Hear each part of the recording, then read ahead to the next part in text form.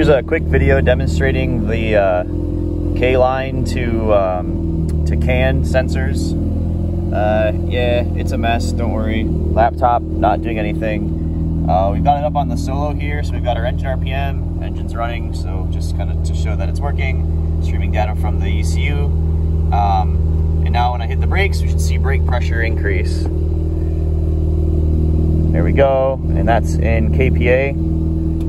So this is reading um, the factory sensor from the ABS module